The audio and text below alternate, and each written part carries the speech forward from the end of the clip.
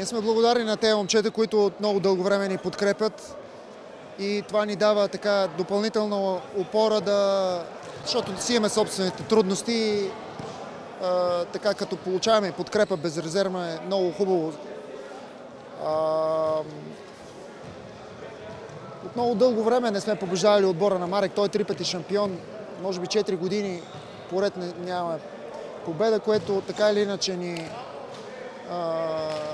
костваше психическа енергия и смея да твърда, че не се получи добър матч. Може би за публиката да е била интересна срещата, но от спортна гледна точка направихме много грешки.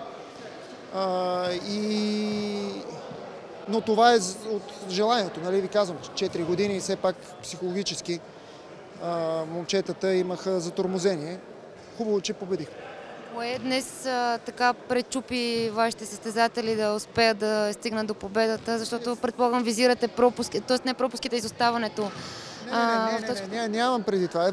Имам предвид самата игра, че беше много нервна от наша страна. Не мога да кажа какво са тук секунди след мача, какво точно обърнало. Играхме повече с голямо желание. Сега, когато се отърсихме от някакво напрежение, дали заради публиката ни е помогнала, дали самите момчета с толкова много години и толкова много тренировки и усилия, пак все пак сигурно са ни напреднали малко, така че сигурно със собствени сили са се преборили. Честно казвам, аз докато гледах матча и гледах а, така и привържениците, седях сред тях и виждах енергията, която влагат в това да подкрепят отбора на ЦСК.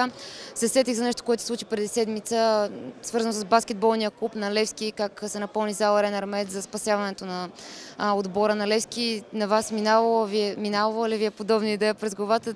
Наистина да направите нещо подобно, смятате ли, че би могла да пожене някакъв успех? Значи, Вижте сега, аз за път трябва да повторя, ама като ми задават такива въпроси, аз сам се усещам, че се повтарям, обаче вашите зрители могат път да не са ме гледали някой път.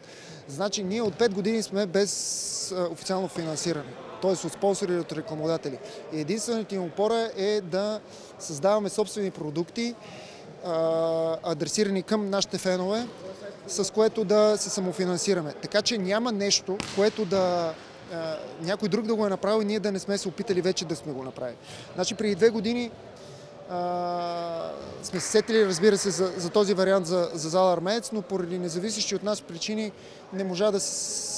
Даже бях запазил и залата, но не можахме да, да организираме шоуто, което между другото предстои със сигурност, което в никакъв случай няма да бъде в а, този сценарий, както на, на Левски.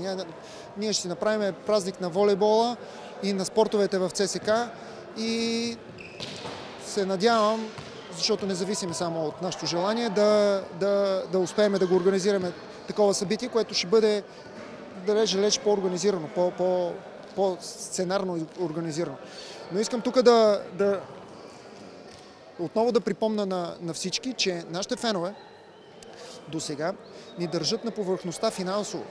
Значи, нашите фенове купуват за втора година картата 100 сърца, с която се самофинансираме. Нашите фенове а, отреагираха на, на кампанията 100 сърца, която беше благотворителна. Нашите фенове а, събраха 50 хиляди лева от благотворителен търг, така че някъде около 200 хиляди лева сме събрали само благодарение на тях, разбира се и на, на, на нашите идеи интелигентно да се обръщаме към тях. Не с просия, ами с взаимна, взаимно разбиране. Започнахме добре, нали, но не можахме просто да запазиме концентрация. Допуснахме много пак такива елементарни грешки. Естествено се вижда, че отбора така в момента малко е в, в спад играта. Но нормално е, значи, след като започнахме от началото на сезона и Шампионска лига и така, нормално да има такива спадове, но просто концентрацията им пада, което затова се нервирам, защото не трябва да те са млади момчета, трябва да постоянно да са като там, как се казва, като зверове, трябва да се намрежат, а те, те изпускат важните моменти. Другото нещо е, проблема е също, че имам много контузини, аз просто не знам вече кой да вкарам, защото и те, които ги вкарам, и те са с контузия и просто влизат момчета така и ми става вече доста трудно, но има такъв момент, какво да направим. Ето и диагонала ми, и той проблеми с коляното, днес не можа да играе. Другия ми е Михаил Цветанов и той с разтежение на коремни мускули. И това също се отразява, защото отбора просто не може да бъде пълноценен, всички да бъдат пълноценно и всеки да дава всичко от себе си. Ясно, че Марък гони титла, тези контузии, този спад, липса на концентрация, доколко смятате, че може да се отрази, колко бързо може да се промени това, за да се върне в правилна насока отбора? Ами вижте какво, значи продължаваме напред.